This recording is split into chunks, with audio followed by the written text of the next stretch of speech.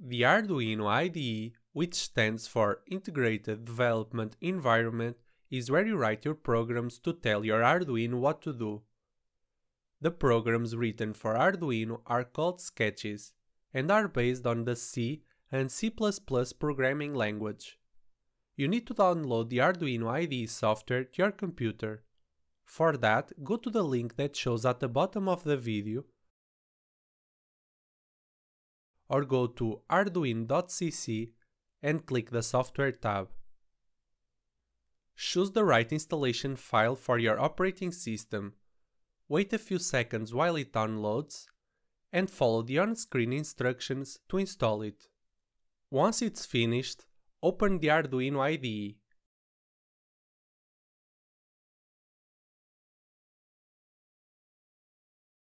Here is where you write your sketches. All of your sketches have this structure, the void setup and the void loop. In the setup, you write the code that you want your Arduino to run once, and in the loop, as the name suggests, you write the code you want your Arduino to run over and over again until you tell it to stop or until you remove power from the Arduino. In the Arduino IDE, you have several examples of sketches that you can use and modify for your projects. You just need to go to File, Examples, and select the example that you want. We're going to start with a Blink sketch. Select Basics and Blink. This opens a new window with the example. This code simply blinks the built-in LED attached to pin 13 every other second. To upload this code to your Arduino board, first, connect the Arduino to your computer using the USB cable. Then go to Tools, Board and make sure you select the right board.